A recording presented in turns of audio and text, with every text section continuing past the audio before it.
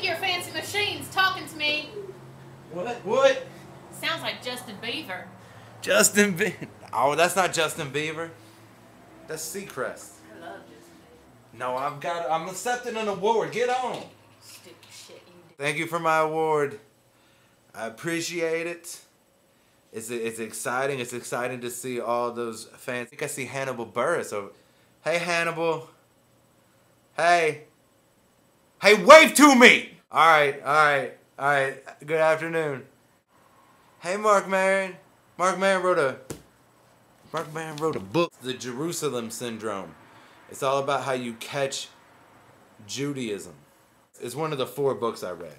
I read The Jerusalem Syndrome, Fletch, Psych, based on the hit USA show Psych, and this uh, old Rolling Stone. Once again, I want to thank you for the award, and good night. I think you really captured, you really captured my spirit there. I think you really captured my spirit. Oh, that's cool, man. I just put on all the dumbest shit I could find. That's that's perfect. I hope you're getting paid for this douchebag. Four minutes.